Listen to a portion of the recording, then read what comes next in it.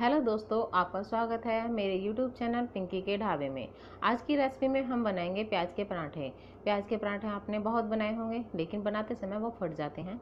आज आपको मैं एक ऐसा तरीका बताऊँगी जिससे प्याज के पराठे आपके बनाते समय बिल्कुल भी नहीं फटेंगे। खाने में भी आपको टेस्टी लगेंगे। चलिए बनाना शुरू करते हैं।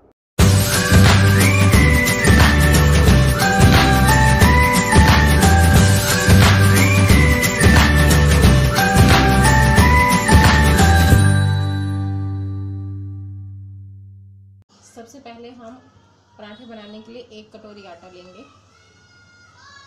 छोटी वाली आधा टीस्पून।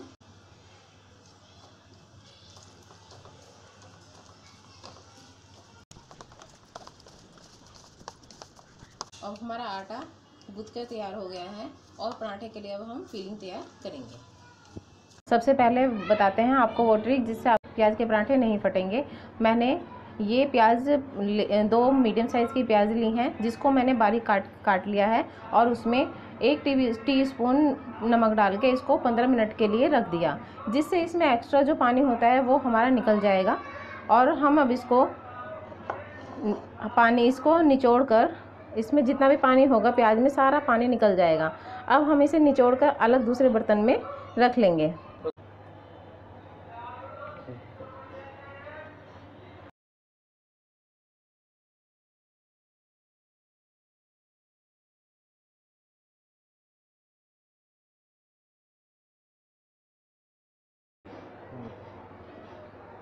यही वो ट्रिक है जिससे आपके प्याज के पराठे बिल्कुल भी नहीं फटेंगे।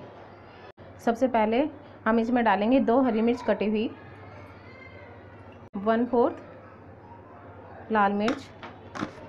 One fourth chaat masala. Two pinch हींग। अब इन्हें, इसे मिक्सर को हम मिला लेंगे। और फ्रेंड्स, इसमें नमक डालने की ज़रूरत नहीं है, क्योंकि हमने पहले ही उसमें इतना एक्स्ट्रा नमक डाल दिया था कि वो निचोड़ने के बाद भी हमें ज़रूरत नहीं है अब डालने की। ये फीलिंग हमारी बनकर तैयार हो चुकी है। चलिए अब पराठा बनाना शुरू करते हैं। आटा हमारा सॉफ्ट हो गया है। अब हम प्याज के पराठे बनाना शुरू करेंगे और मैंने गैस पर तवा रख दिया है गर्म होने के लिए। अब हम पराठे बनाने के लिए पेड़िया बनाएँगे।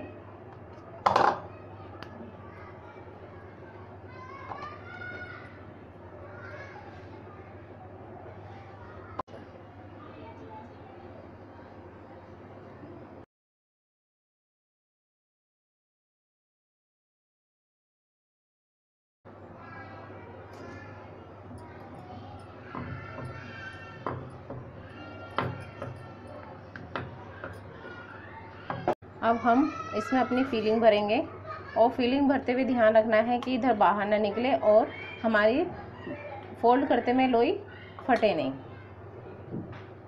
अच्छे से हम इसको, इसका मुँह को बंद करेंगे।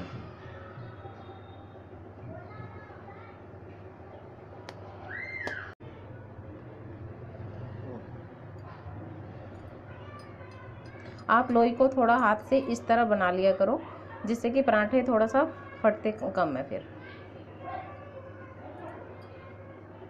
अब हम इसको धीरे धीरे हल्के हल्के हाथों से इसको बेलेंगे।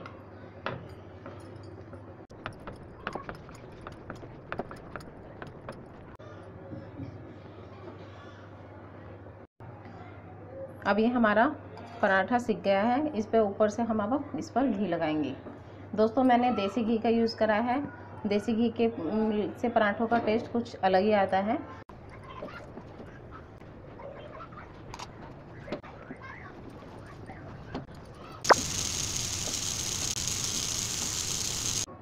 दोस्तों, हमारे पराठे बनकर तैयार हो चुके हैं। ना तो ये कहीं से फटे हैं और ना ही कहीं से टूटे हैं। और आप इस तरह के पराठे बनाकर एक बार ज़रूर देखिए और आप कमेंट करके बताइए कि मेरे पराठे कैसे लगे आपको, खाने में टेस्टी लगे, कैसे लगे और लाइक करके बताएँ, शेयर करके बताएँ और सब्सक्राइब भी करें।